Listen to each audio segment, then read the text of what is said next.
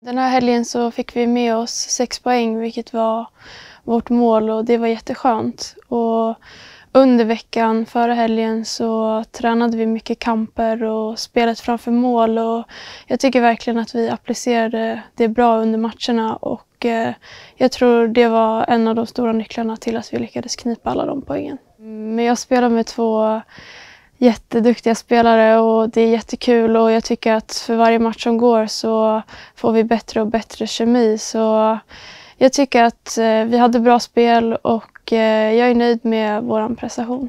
Vi alla tänker väl ganska lika. Vi har tänkt defensivt men eh, gillar ju det offensiva spelet och det är liksom alla våran spets. Så vi alla har mycket hockey i oss och hitta varandra bra.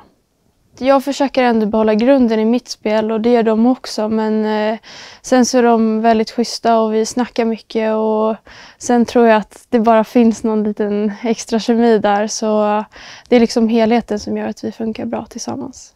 Det som gör dem så sjukt duktiga hockeyspelare är dels att de individuellt har jättebra teknik och en bra grund där men sen så har båda sjukt bra spelhuvuden och hittar alla jättebra på isen så det är det där lilla extra.